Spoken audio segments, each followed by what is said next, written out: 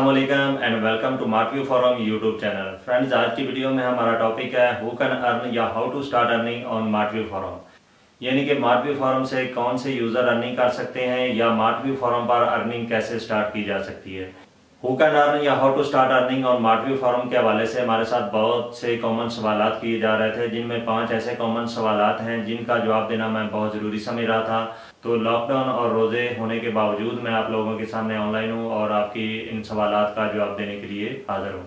तो चूँकि रोज़े हैं और इस टाइम असर का टाइम हो चुका है तो इस टाइम एनर्जी बहुत डाउन हो चुकी होती है तो चलें टाइम को ज़ाया किए बगैर वीडियो की तरफ़ आते हैं और आपके कॉमन सवाल का जवाब देते हैं। तो अभी तक अगर आपने मेरे चैनल को सब्सक्राइब नहीं किया या आप चैनल पर नए हैं तो नीचे सब्सक्राइब बटन को दबाकर साथ में दिए गए बेल आइकन को पुश कर लें, ताकि हमारी नई आने वाली वीडियोस का आपको नोटिफिकेशन हासिल हो सके और आप उनको सबसे पहले देख सकें। तो चलते हैं सवालात की तरफ़, जिनमें नंबर वन और नंबर टू सवाल जो है, वो तकरीबन सेम है कि मार्टवी फॉर्म पर अर्निंग करने के लिए यूज़र को कितना पुराना होना ज़रूरी है या कौन कौन से यूज़र फॉर्म पर अर्निंग कर सकते हैं। तो इसका जवाब यह है कि अगर आपने आज फॉर्म ज्वाइन किया है तो आपकी अर्निंग आज से स्टार्ट हो जाएगी। आपको पुराना होना ज़रूरी नहीं है। तमाम यूज़र, तमाम एक्टिव यूज़र जो हैं, वो फॉर्म से अर्निंग कर सकते हैं।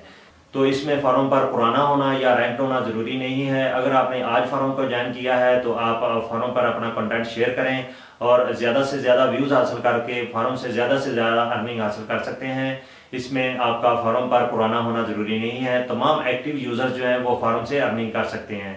आपका फॉर्म पर एक्टिव रहना ज़रूरी है। फॉर्म पर आपका ऑनलाइन रहना ज़रूरी है। नंबर तीन पर सवाल है जो मेरे साथ बहुत कॉमन किया जा रहा है कि कौन कौन सी पोस्ट हमारी अर्निंग कर सकती है फॉरम पे?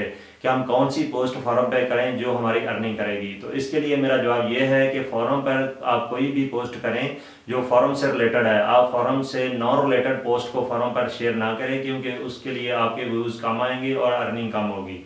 तो आप फॉरम से रिलेटेड जो जिससे रिलेटेड हमारा फॉरम है, जैसे कि आप जानते हैं कि टैक्स से रिलेटेड हमारा फॉरम है तो टैक्स से रिलेटेड कोई भी पोस्ट आप करते हैं तो वो आपकी फॉर्म पर मैक्सिमम अर्निंग का सबब बन सकती है।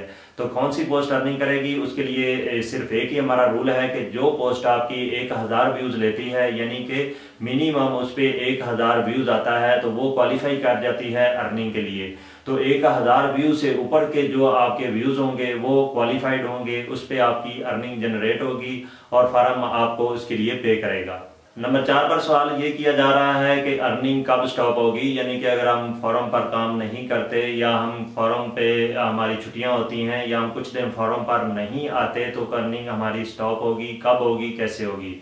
तो उसके लिए हमारा रूल ये है कि अगर कोई एक्टिव यूज़र 10 दिन तक फॉरम पर रिटर्न नहीं आता, वापस नहीं आता तो उसकी अर्निंग वहाँ पर स्टॉप हो जाएगी, उसकी अर्निंग आगे जनरेट नहीं होगी।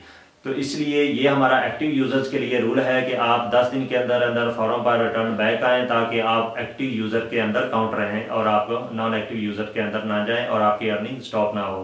तो अर्निंग स्टॉप होने के लिए यही हमारा रूल है कि अगर यूज़र 10 दिन तक फॉर्म के ऊपर रिटर्न बैक लॉग नहीं होता तो उसकी अर्निंग वहाँ पर स्टॉप हो जाएगी, आगे जनरेट नहीं होगी। इसलिए फॉर्म पर एक्टिव रहें ताकि आपकी अर्निंग जो है वो कंटिन्यू रहे। नंबर पाँच पर जो सवाल किया जा रहा है, वो ये है कि अगर हमारी अर्निंग स्टॉप हो जाती है कि एक यूज़र 10 दिन तक फॉर्म पर लॉगिन नहीं होता एक्टिव नहीं होता तो उसकी अर्निंग अगर स्टॉप हो जाती है तो दोबारा से स्टार्ट कैसे होगी? तो उसके लिए मेरा जवाब ये है कि अगर एक यूज़र 10 दिन तक फॉर्म पर एक्टिव नहीं होता लॉगिन नहीं होता तो उसकी अर्निंग वहाँ पर स्टॉप हो जाएगी। और अगर वो यूज़र 20 दिन के बाद 30 दिन के बाद दोबारा से फॉर्म के ऊपर लॉगिन हो जाता है और एक्टिव हो जाता है तो उसकी अर्निंग दोबारा से स्टार्ट हो जाएगी। तो इसमें ऐसा कोई कॉम्प्लिकेटेड हमारा रूल नहीं है कि अगर आप 10 दिन तक हमारे फॉर्म पर लॉगिन नहीं होते तो आपकी अर्निंग स्टॉप हो जाएगी तो आपको दोबारा से उसको एक्टिव करवाना पड़ेगा। तो ऐसा नहीं है कि आपको कुछ करना पड़े जस्ट आपने 10 दिन के बाद जब भी आप दोबारा फॉर्म पे लॉगिन होते हैं, दोबारा फॉर्म पे रिटर्न आते हैं री लॉगिन होते हैं तो आपकी अर्निंग जहाँ पर स्टॉप हुई है, वहाँ से आगे स्टार्ट हो जाएगी कंटिन्यू हो जाएगी। तो ये थे मार्टवी फॉरम अर्निंग के हवाले से पाँच कॉमन सवाल जो बहुत ज़्यादा पूछे जा रहे थे और उनका जवाब देना मैं बहुत ज़रूरी समझ रहा था। उम्मीद है दोस्तों, आपको मार्टवी फॉरम अर्निंग के हवाले से जो कन्फ्यूजन्स थी वो दूर हो गई होंगी। अगर फिर भी आपका कोई सवाल है, कोई आपके जहन में डाउट है तो आप मेरे साथ क्लियर कर सकते हैं। वीडियो के नीचे कमेंट सेक्शन में अपने सवाल सबमिट करें। मैं या मेरी team as soon as possible आपके सवाल का जवाब आपको कमेंट सेक्शन में देगी। और अगर ज़रूरी हुआ तो उसके हवाले से हम नेक्स्ट वीडियो में आपके साथ आपकी कन्फ्यूज़न को क्लियर कर देंगे। तो इन अल्फाज के साथ एंड करना चाहूँगा कि आप मार्टवी फॉरम पर अपना ज़्यादा से ज़्यादा कंटेंट शेयर करें, ताकि आप मैक्सिमम व्यूज़ लेकर माटवी फॉरम से मैक्सिमम अर्निंग हासिल कर सकें। अफ्तारी का टाइम हो रहा है, इसके साथ इजाज़त चाहता हूँ। अपना बहुत सा ख्याल रखिएगा और दुआ में याद रखिएगा। अल्लाह हाफिज़ दोस्तों।